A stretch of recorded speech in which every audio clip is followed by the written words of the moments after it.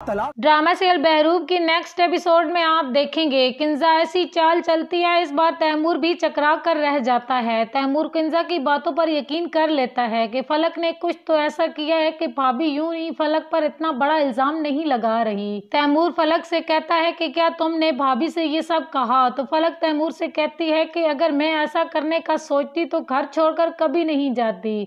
बल्कि मेरे पास जो कुछ भी होता वो मैं किंजा भाभी को देकर आपको हमेशा हमेशा के लिए अपना बना लेती। तैमूर किंजा भाभी झूठ बोल रही है। किंजा भाभी का एक ही मकसद है मुझे आपकी ज़िंदगी से निकालना। और मुझे भी ये लग रहा है कि भाभी ठीक कह रही है। अगर आपको मुझ पर यकीन नहीं तो प्लीज़ इस रिश्ते को यहाँ ही खत्म कर दें।